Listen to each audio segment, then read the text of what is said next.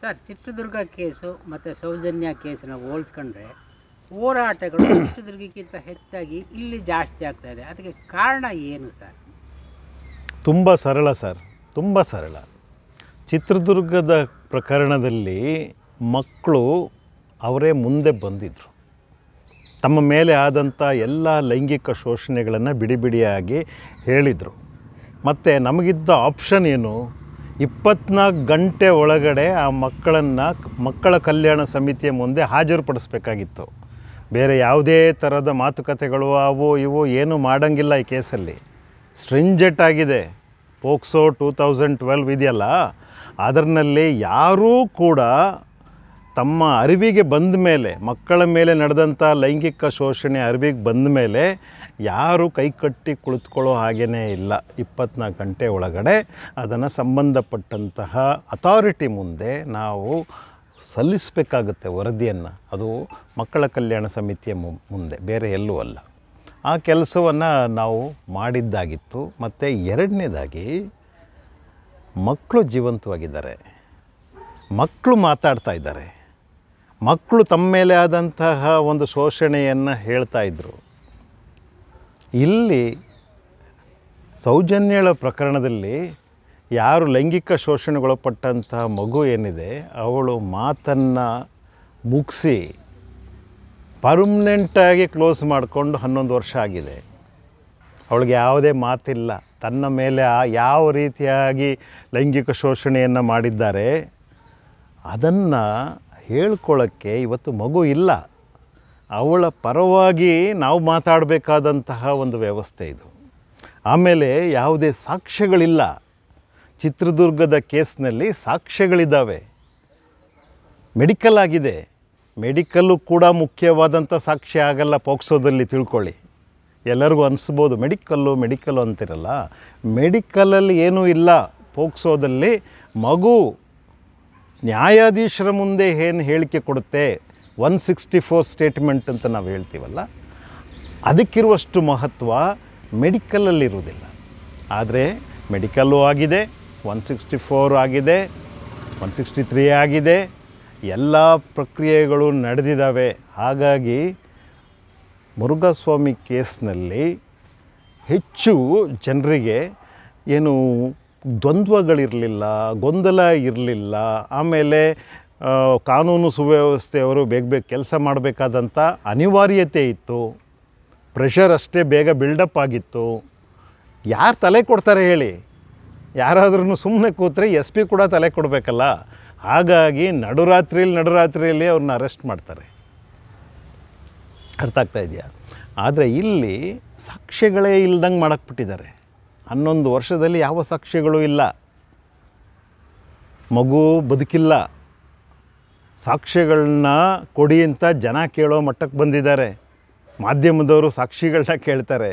ಸಾಕ್ಷಿಗಳನ್ನ ಯಾಕ್ರಿ ಕೊಡ್ತಾರೆ? ಹನ್ನೊಂದು ವರ್ಷಗಳ ನಂತರದಲ್ಲಿ ಸಾಕ್ಷ್ಯಗಳು ಹೆಂಗೆ ಲಭಿಸುತ್ತೆ ಅನ್ನೋ ನಂಬಿಕೆ ಇದೆಯಾ ಸರ್? ಖಂಡಿತವಾಗ್ಲೂ ಖಂಡಿತವಾಗ್ಲು ಖಂಡಿತವಾಗ್ಲೂ. ಯಾಕೆ ಅಂತಂದರೆ ಇದು ನಾನು ಹೇಳೋ ಮಾತು ಪೊಲೀಸ್ ಡಿಪಾರ್ಟ್ಮೆಂಟ್ ಅವ್ರಿಗೆ ಅರ್ಥ ಆಗುತ್ತೆ. ತನಿಖಾಧಿಕಾರಿಗಳಿಗೆ ಅರ್ಥ ಆಗುತ್ತೆ. ಮತ್ತು ಕಾನೂನನ್ನು ತಿಳುವಳಿಕೆ ಇರುವಂತಹ ಜನಗಳಿಗೆ ಅರ್ಥ ಆಗುತ್ತೆ. ಮತ್ತು ಹೆಚ್ಚು ನುರಿತ ಮಾಧ್ಯಮದವ್ರಿಗೂ ಅರ್ಥ ಆಗುತ್ತೆ. ಈ ಕ್ರೈಮ್ ರಿಪೋರ್ಟರ್ಸ್ ಇದ್ದಾರಲ್ಲ, ಅವ್ರಿಗೆ ಖಂಡಿತ ಅರ್ಥ ಆಗುತ್ತೆ. ಅದರಲ್ಲೂ ಸ್ವಲ್ಪ ಅನುಭವ ಇರುವಂಥವರು, ಒಂದು ಐವತ್ತು ಅರುವತ್ತು ವರ್ಷ ಆಗಿರುವಂಥವ್ರಿಗೆ ಅರ್ಥ ಆಗುತ್ತೆ. ಒಂದು ಅಪರಾಧದ ಜಾಡನ್ನು ಯಾರಾದರೂ ಒಬ್ಬ ಅಪರಾಧಿ ಬಿಟ್ಬಿಟ್ಟೇ ಹೋಗಿರ್ತಾನೆ. ಪ್ರಪಂಚದಲ್ಲಿ ಒಂದು ಸಣ್ಣ ಜಾಡನ್ನೂ ಬಿಡದೆ ಹೋದಂತಹ ಅಪರಾಧಿಗಳು ಬಹಳ ಬಹಳ ವಿರಳ. ಅದಕ್ಕೆ ಹೇಳುತ್ತೆ ಒಂದಲ್ಲ ಒಂದು ಕುರುಹನ್ನಾದರೂ ಬಿಟ್ಬಿಟ್ಟು ಹೋಗಿರ್ತಾರೆ. ಈಗ ಸಾಕ್ಷ್ಯಗಳನ್ನು ಒದಗಿಸ್ಬೇಕಾದವ್ರು ಯಾರು ಸರ್? ಅಂದರೆ ಯಾವುದೋ ಒಂದು ಮಾಧ್ಯಮ ಒದಗಿಸ್ಬೇಕಾ? ಯಾವುದೋ ವ್ಯಕ್ತಿ ಒದಗಿಸ್ಬೇಕಾ? ಸಂದೇಹಗಳ ಮೇಲೆ ಮನೆ ಕಟ್ಟಬೇಕಾ ಯಾವ ರೀತಿ ಸಾಕ್ಷ್ಯಗಳು ಹುಡುಕಬೇಕು? ನೋಡಿ ತನಿಖೆ ಅನ್ನೋದೇ ಮುಖ್ಯವಾಗಿ ಕ್ರೈಮ್ಗಳಲ್ಲಿ ಬೇರೆ ಬೇರೆ ವಿಧಾನಗಳಿದೆ ವಿಧಗಳಿದವಲ್ಲ ಇದು ಬಹಳ ಹೀನಾತಿಹೀನವಾದಂಥ ಅಪರಾಧ. ಯಾವುದು? ಅಪಹರಣ ಮಾಡಿ, ಸಾಮೂಹಿಕ ಅತ್ಯಾಚಾರ ಮಾಡಿ ಕೊಲೆಗೈದಿರುವಂಥದ್ದು. ಮತ್ತು ಕೊಲೆ ಮಾಡಿರುವಂಥವನು ಯಾವ ರೀತಿಯಲ್ಲಿ ಕೊಲೆ ಮಾಡಿದ್ದಾನೆ? ಆ ಒಂದು ಐಡೆಂಟಿ ಕಾರ್ಡ್ದ ಟ್ಯಾಗ್ನಲ್ಲಿ ಕತ್ತನ್ನು ಇಸ್ಕಿ ಸಾಯಿಸಿದ್ದಾನೆ. ನಂತರದಲ್ಲಿ ಅತ್ಯಾಚಾರದ ಕುರುಹುಗಳು ಯಾವುದು ಸಿಗಬಾರ್ದು ಅಂತೇಳಿ ಆಕೆ ಗುಪ್ತಾಂಗದೊಳಗೆ ಮಣ್ಣು ಸೇರಿಸಿದ್ದಾನೆ, ಮಣ್ಣು ತುರ್ಕ್ಬಿಟ್ಟಿದ್ದಾನೆ. ಅಂದರೆ ಯಾರೋ ಒಬ್ಬ ಪ್ಲ್ಯಾಂಡ್ ಆಗಿ ಮಾಡಿರುವಂಥದ್ದು. ಇದಕ್ಕೆ ನಾವು ಮೆನ್ಸ್ರಿಯ ಅಂತ ಅಂತೇವೆ, ಮೋಡಸ್ ಆಪರೆಂಡಿ ಅಂತ ಕರಿತೇವೆ. ಮೋಡಸ್ ಆಪರೆಂಡಿ ಅಂದರೆ ಕಾರ್ ಕಾರ್ಯ ವಿಧಾನ ಮಾಡಿರುವಂಥ ವಿಧಾನಗಳು. ಮೆನ್ಸ್ರಿಯ ಅಂತಂದರೆ ಗಿಲ್ಟ್ ಕಾನ್ಷಿಯಸ್ನೆಸ್ ಅಂತ ಹೇಳುವಂಥದ್ದು. ಕಾನೂನಲ್ಲಿ ಹೇಳುವಂಥದ್ದು, ಅಪರಾಧಿಕ ಮನೋಭಾವನೆ. ಇವೆಲ್ಲವೂ ಪ್ರೊಫೆಷ್, ಮತ್ತು ಒಂದು ಪ್ಲ್ಯಾನ್ ಇದೆ. ಇವು ಆಕ್ಸಿಡೆಂಟ್ ಅಲ್ಲ ಪ್ಲ್ಯಾನ್ ಇದೇ ಥರ ಮಾಡಬೇಕು ಅಂತೇಳಿ ಮಾಡಿರುವಂಥದ್ದು. ಯಾವುದೇ ಸಾಕ್ಷ್ಯಗಳು ಇಲ್ಲದ ಹಾಗೆ ಒಂದು ವ್ಯವಸ್ಥೆ ನೋಡ್ಕೊಂಬಿಟ್ಟಿದೆ ಅಂತ ಅಂದ್ಕೊಳ್ಬಾರ್ದು. ಸಾಕ್ಷಿಗಳು ಇದ್ದಾವೆ ಇವಿಷ್ಟೇ ಸಾಕ್ಷಿಗಳಲ್ಲ ಯಾವುದು? ಗುಪ್ತಾಂಗದಲ್ಲಿದ್ದಂಥ ಸ್ವ್ಯಾಬು ಹಾಳಾಗೋಗಿದೆ ಅನ್ನುವಂಥದ್ದು. ಅದೊಂದೇ ಸಾಕ್ಷಿ ಅಲ್ಲ. ಮೆಡಿಕಲ್ ರಿಪೋರ್ಟ್ ಸರಿಯಾಗಿ ಆಗಿಲ್ಲ. ಅದೊಂದೇ ಸಾಕ್ಷಿ ಅಲ್ಲ. ಅಥವಾ ಬೇರೆ ಬೇರೆ ರೀತಿಯಾದಂಥ ವಿಚಾರಗಳು, ಅದೊಂದೇ ಸಾಕ್ಷಿ ಅಲ್ಲ. ಇನ್ನಷ್ಟು ಸಾಕ್ಷಿಗಳಿದ್ದಾವೆ ಆ ಸಾಕ್ಷಿಗಳನ್ನು ಹುಡುಕಬೇಕಾದ್ರೆ ಒಂದು ದಕ್ಷವಾದಂತಹ ತನಿಖೆ ನಡೀಬೇಕಾಗತ್ತೆ. ಆ ತನಿಖೆಯೇ ನಡೆದಿಲ್ಲ ಅನ್ನುವಂಥದ್ದೇ ಹೀಗೆ ಬಂದಿರುವಂತಹ ಒಂದು ತೀರ್ಪು ನಮಗೆ ಮನದಟ್ಟು ಮಾಡಿಕೊಡ್ತಾ ಇರುವಂಥದ್ದು. ಆ ತೀರ್ಪಿನಲ್ಲಿ ಬರೆದಿದ್ದಾರೆ. ಏನು ಅಂತ? ಅಧಿಕಾರಿಗಳು ಸಮರ್ಪಕವಾಗಿ, ದಕ್ಷವಾಗಿ ಕಾರ್ಯನಿರ್ವಹಿಸಿರುವುದಿಲ್ಲ. ಹಾಗಾಗಿ ಇಂಥ ಅದಕ್ಷ ಅಧಿಕಾರಿಗಳನ್ನು ಎರ್ರಿಂಗ್ ಅಫಿಷಿಯಲ್ಸ್ ಅಂತ ಬರೀತಾರೆ. Erring official should be brought before the acquittal committee ಯಾಕೆ? ಸನ್ಮಾನ ಮಾಡೋಕ್ಕಲ್ಲ. ಅವ್ರಿಗೆ ನಾವು ಸರಿಯಾದ ರೀತಿಯಾಗಿ ಅವ್ರ ಮೇಲೆ ತನಿಖೆ ಮಾಡಬೇಕು ಅನ್ನುವಂಥದ್ದು ನಮ್ಮ ಘನ ನ್ಯಾಯಾಲಯದ ಒಂದು ಆದೇಶ ಅದು. ತೀರ್ಪು ಅದು ಅದು ಒಂದು ಕಡೆ ಇರಲಿ ಅದೊಂದು ಕಡೆ ಇರಲಿ. ಆದರೆ ತನಿಖಾಧಿಕಾರಿಗಳು ಒಂದು ಅಪರಾಧದ ಬೆನ್ನತ್ತಿ ಹೋಗೋದೇ ಒಂದಿಷ್ಟು ಸಂದೇಹಗಳ ಸರಮಾಲೆ ಮೇಲೆ ಅಥವಾ ಒಂದು ಸಂದೇಹಗಳನ್ನೇ ಸೇತುವೆ ಮಾಡಿಕೊಂಡು ಅದ್ರ ಮೇಲೆ ನಡ್ಕೊಂಡು ಹೋಗಿ ಎಲ್ಲೋ ಗುರಿ ತಲುಪ್ತಾನೆ ಒಬ್ಬ ತನಿಖಾಧಿಕಾರಿ. ಸಂದೇಹಗಳೇ ಇಲ್ಲ ಆತನಿಗೆ ಅಂತಂದರೆ ತನಿಖೆನೇ ಮಾಡಲಿಕ್ಕಾಗೋದಿಲ್ಲ.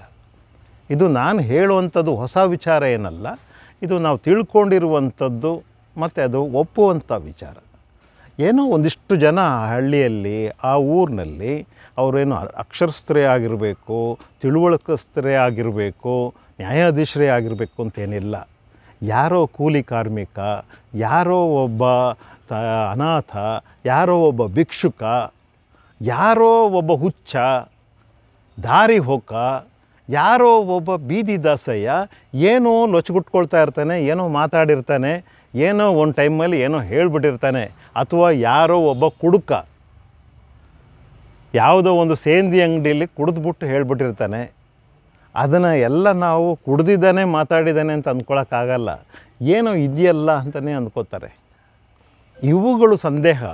ಇದರಲ್ಲಿ ಸೆಲ್ಲೋ ಒಂದು ಕಡೆ ಒಂದು ಕಡೆ ಇದನ್ನು ಸೋಸುವಂಥ ಕೆಲಸವನ್ನು ತನಿಖಾಧಿಕಾರಿ ಮಾಡ್ತಾನೆ. ಯಾವ ಥರ ಸೋಸ್ತಾನೆ ಇವನು ಅಂತಂದರೆ ಅಕ್ಕ ಸಾಲಿಗಿನ ಅಂಗಡಿ ಮುಂದೆ ಯಾರೋ ಒಬ್ರು ಬಾಂಡ್ಲಿ ಹಿಡ್ಕೊಂಡು ಸೋಸ್ತಾ ಇದ್ದಾರೆ ನೋಡಿದ್ದೀರಾ ಏನು ಕೆಲಸ ಮಾಡ್ತಾ ಇರ್ತಾನೆ ಅವನು ಅಂತ ನಮಗೆ ಗೊತ್ತಾಗಲ್ಲ. ಹಿಡ್ಕೊಂಡು ದಿವಸ ಇಡೀ ಸೋಸ್ತಾ ಇರ್ತಾರೆ. ಕೊನೆಗೆ ಎಲ್ಲೋ ಒಂದು ಕಡೆ ಸಿಕ್ಕಿದ್ರು ಸಿಕ್ತು ಸಿಗದಿದ್ರೂ ಇತ್ತು.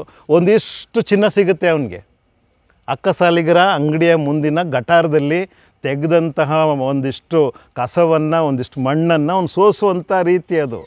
ಹೋಪ್ಸ್ ಇಟ್ಕೊಂಡು ಸೋಸ್ತಾನೆ. ಎಲ್ಲೋ ಒಂದಿಷ್ಟು ಚಿನ್ನದ ಒಂದಿಷ್ಟು ತುಣುಕು ಎಲ್ಲೋ ಒಂದು ಕಡೆ ಸಿಗುತ್ತೆ ಅಂತ ಹೇಳುವಂಥ ಹೋಪ್ಸ್ ಇಟ್ಕೊಂಡು ಆ ಒಂದು ಸೋಸೋ ಕೆಲಸಗಳನ್ನು ಮಾಡ್ತಾರೆ. ಇದನ್ನು ಎಷ್ಟು ಜನ ನೋಡಿದಿರೋ ಗೊತ್ತಿಲ್ಲ. ಇದು ತನಿಖಾಧಿಕಾರಿಯ ಕೆಲಸವೂ ಅದೇ. ಅರ್ಥ ಆಗ್ತಾ ಇದೆಯಾ? ಆ ರೀತಿಯಾಗಿ ಸಂದೇಹಗಳೇ ಇಲ್ಲ ಅಂತ ಅನ್ಬಾರ್ದು. ಸಂದೇಹಗಳು ಮಾಡಲೇಬೇಕು. ಸಂದೇಹ ಇದ್ದ ತಕ್ಷಣ ಅವ್ರನ್ನೆಲ್ಲ ಹಿಡಿದು ಎಡೆಮುರಿ ಕಟ್ಟಿ ಒಳಗಡೆ ಹಾಕ್ಬಿಡ್ತಾರೆ ಅವ್ರಿಗೆ ಏರೋಪ್ಲೇನ್ ಹತ್ತಿಸ್ಬಿಡ್ತಾರೆ. ಇವು ಸಿನಿಮಾದಲ್ಲಿ ಅಷ್ಟೇ ನೋಡ್ಲಿಕ್ಕೆ ಸಾಧ್ಯ. ಸಿನಿಮಾಗಳಲ್ಲಿ ನೋಡ್ಕೊಂಡು ನೋಡಿಕೊಂಡು ಅದೇ ಥರ ನಾವು ಇರುತ್ತೆ ವಾಸ್ತವ ಅಲ್ಲ. ಒಂದು ಪ್ರಕ್ರಿಯೆ ಇದೆ, ಕಾನೂನು ಪ್ರಕ್ರಿಯೆ ಇದೆ. ಯಾರೋ ಒಂದಿಷ್ಟು ಜನ ಹೇಳ್ತಾ ಇದ್ದಾರೆ, ನಿಮ್ಮ ಹತ್ರ ಇರುವಂಥ ಎಲ್ಲ ಆಧಾರಗಳನ್ನು ಸಾಕ್ಷ್ಯಗಳನ್ನು ಯಾಕ್ರಿ ಕೊಡ್ತಾ ಇಲ್ಲ, ಯಾಕ್ರಿ ಕೊಡ್ತಾ ಇಲ್ಲ ಅಂತ ಅಂತಾರೆ. ಎಲ್ಲಿ ಕೊಡಬೇಕು, ಯಾವಾಗ ಕೊಡಬೇಕು, ಹೇಗೆ ಕೊಡಬೇಕು, ಅದಕ್ಕೊಂದು ಪ್ರಕ್ರಿಯೆ ಇದೆ. ಪ್ರೊಸೀಜರ್ ಇದೆ. ಟೈಮ್ ಇದೆ. ಒಂದು ಪ್ರಕ್ರಿಯೆ ನಡೀತಾ ಇದ್ದಾಗ ತನಿಖಾಧಿಕಾರಿಗಳು ಒಂದು ಏನು ಹೇಳ್ತೀರಿ? ಚಾರ್ಜ್ ಶೀಟನ್ನು ಆಗಲೇ ಸಬ್ಮಿಟ್ ಮಾಡಿ ಆಗಿದೆ. ಅದರಲ್ಲಿ ಒಂದಿಷ್ಟು ಜನ ಸಾಕ್ಷಿಗಳು, ಒಂದಿಷ್ಟು ಏನು ಮಟೀರಿಯಲ್ಸು ಎಲ್ಲವನ್ನು ಅವರು ಕೊಟ್ಟು ಸಮ್ ಸಬ್ಮಿಟ್ ಮಾಡಿರ್ತಾರೆ. ಅಲ್ಲಿ ವಾದ ನಡೆಯುತ್ತಿರುತ್ತೆ, ಪ್ರತಿವಾದ ನಡೆಯುತ್ತಿರುತ್ತೆ. ಅಂಥ ಸಂದರ್ಭದಲ್ಲಿ ಯಾರೋ ಒಬ್ಬ ಹೀರೋ ಓಡ್ಕೊಂಬಂದ್ಬಿಟ್ಟು ಇವರ ಆನರ್ ಅಂತ ನಿಲ್ಲಿಸ್ಬಿಡೋಕ್ಕಾಗಲ್ಲ ಅದು ಸಿನಿಮಾದಲ್ಲಿ ಮಾತ್ರ ಸಾಧ್ಯ. ಅಥವಾ ಯಾರೋ ಒಂದು ಹೆಂಗಸು ಓಡ್ ಬಂದ್ಬಿಟ್ಟು ಕೇಳ್ಕೊಳಕ್ಕಾಗಲ್ಲ.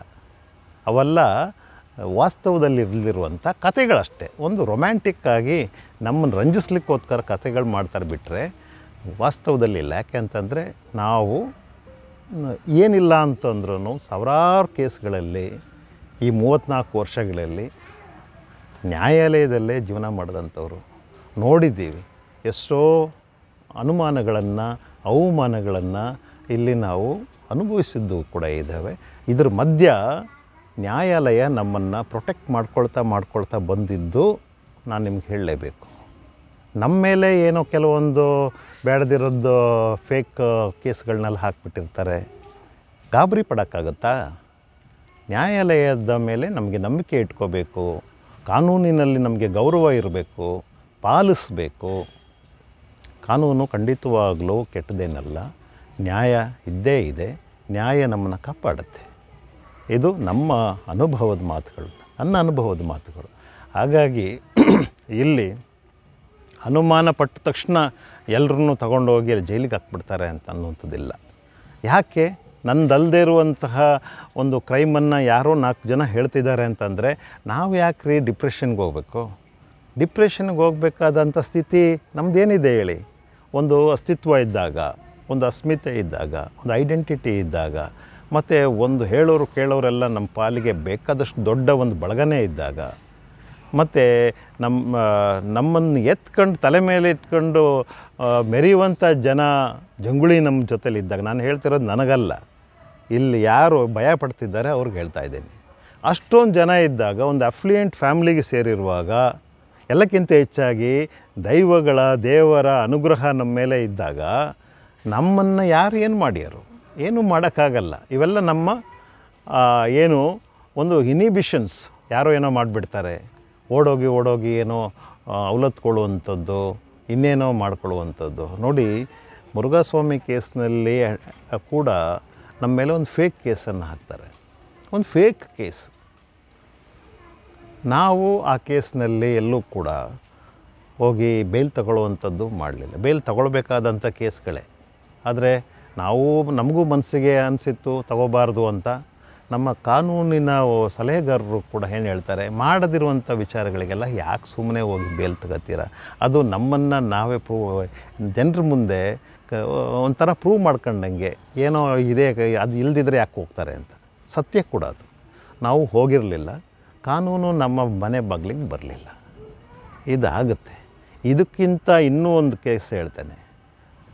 ಯಾವುದೋ ಮಾಡದಿರುವಂಥ ಒಂದು ಪ್ರಕರಣ, ಒಂದು ಹದಿನೆಂಟು ವರ್ಷದ ಹಿಂದಿನ ಪ್ರಕರಣದಲ್ಲಿ ಕೇಸ್ ಬಿದ್ದಾಗ ನಾವು ಬೇಲ್ ತಗೊಳ್ಳಿಕ್ಕೆ ಹೋಗಲಿಲ್ಲ, ತಲೆ ತಪ್ಪಿಸ್ಕೊಳ್ಳೋಕ್ಕೂ ಹೋಗಲಿಲ್ಲ. ಜೈಲಿಗೆ ಹೋಗೋದೇ ಬೆಟರ್ ಅಂತ ಅನಿಸುತ್ತೆ ಆ ಸಂದರ್ಭದಲ್ಲಿ. ಅರ್ಥ ಆಗ್ತಾ ಇದೆಯಾ? ಜೈಲಿಗೆ ಹೋಗಿದ್ದು ಆಯಿತು ಆ ಕೇಸ್ನಲ್ಲಿ, ಆದರೆ ನಿರ್ದೋಷಿಯಾಗಿ ವಾಪಸ್ ಬರ್ತೇವೆ. ಅದಕ್ಕಿಂತ ಒಳ್ಳೆಯದಿನ್ನೇನಿದೆ ಇದು ನಾವು ಮಾಡಬೇಕಾದಂಥ ಕಾನೂನು ತಿಳುವಳಿಕೆ ಇರುವಂಥ ಜನ ಕಾನೂನನ್ನು ಗೌರವಿಸುವಂಥ ಜನ ಮಾಡಬೇಕಾದ ರೀತಿ ಇದು.